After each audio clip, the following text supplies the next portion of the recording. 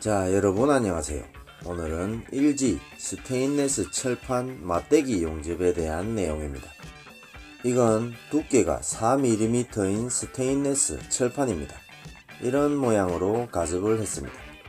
가접은 여기 여기 여기 여기 이렇게 네 군데에 가접을 했습니다. 이건 3.2mm 용접봉입니다. 갭의 크기는 4mm 정도 됩니다. 그럼 이런 모양이 됩니다. 잘 보이시죠? 철판은 퍼지 박스에 고정해 놨고요. 유리 테이프를 사용해서 틈을 막았습니다. 텅스텐의 길이는 11mm 정도 됩니다. 노즐의 내경은 16mm입니다. 그러면 이 정도의 각도가 만들어집니다. 용접 방법은 여러 가지가 있습니다. 어, 이런 방법도 있고요. 또 저런 방법도 있습니다.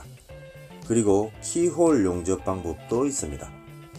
이런 방법들도 차후에 보여드릴 거고요. 오늘은 이런 방법으로 용접을 해보겠습니다.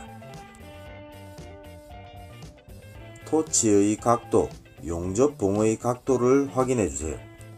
텅스텐의 길이를 길게 만들면 토치의 각도는 낮아집니다. 이전에 다른 동영상에서도 말씀드렸습니다. 텅스텐의 길이를 길게 해서 토치의 각도를 낮추면 용융풀은 길어집니다. 그러면 낮은 전류를 사용해서 큰 용융풀을 만드실 수가 있습니다. 용접봉의 각도 또한 낮은 각도를 유지하시는 것이 좋습니다. 용접봉의 각도가 낮으면 용접봉을 조준하기가 좀 더 쉬워집니다. 그리고 용접봉을 일정하게 공급하는 데에도 조금 도움이 됩니다. 이때 용접봉을 잡고 있는 왼손은 구조물에 고정하고 있는 것이 좋습니다.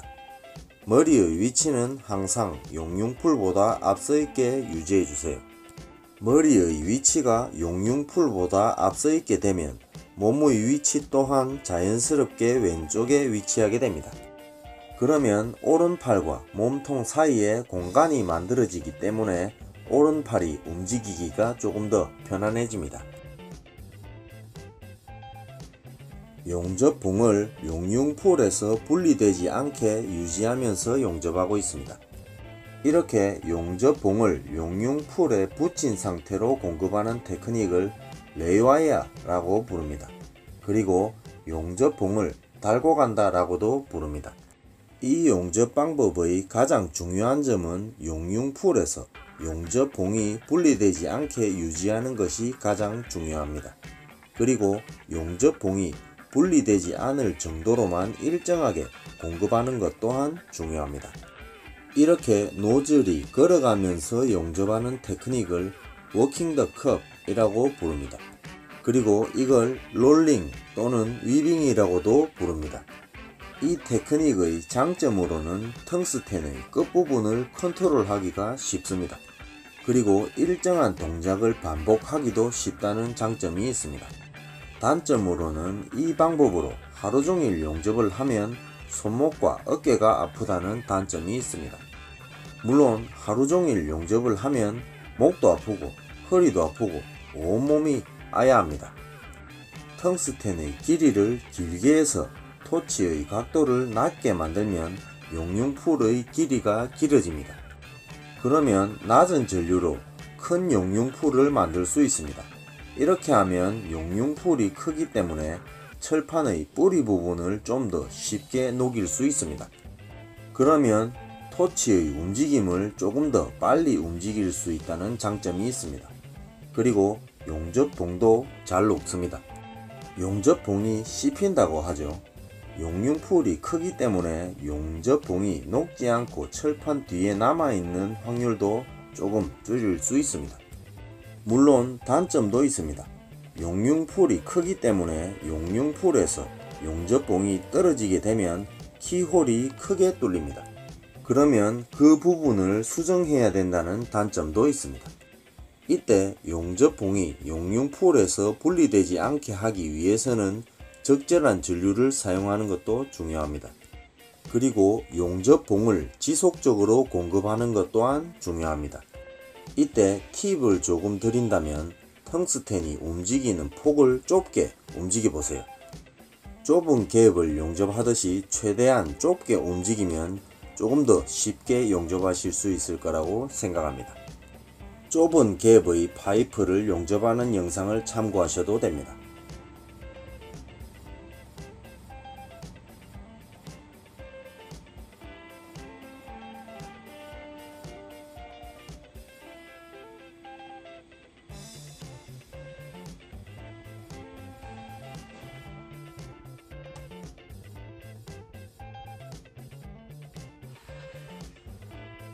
자, 이런 결과물이 나옵니다.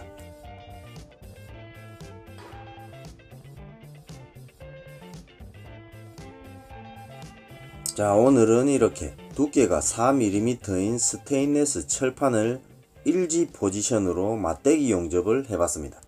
차후에는 수평 용접, 수직 용접, overhead 용접에 대한 동영상도 만들어 보겠습니다. 그리고 keyhole 용접, 그리기 용접, 프리핸드 용접 같은 다양한 테크닉에 대한 동영상도 만들어 보도록 하겠습니다. 자 이렇게 오늘은 일G 자세에서 root pass 용접을 해봤습니다. 다음 시간에는 채우기 용접과 final 용접에 대한 동영상으로 다시 찾아뵙겠습니다. 제 용접 방법이 반드시 정답은 아닙니다. 하지만 여러가지 상황에서 다양하게 응용할 수 있는 용접 방법 중에 하나이니 도움이 되셨으면 합니다. 이 영상이 모든 용접사분들께 성장하는 계기가 되고 그리고 조금이나마 도움이 되셨으면 하는 바람입니다. 좋아요 눌러주시고요. 구독하시고 제 채널에 오시면 더 다양한 용접 영상들이 있습니다.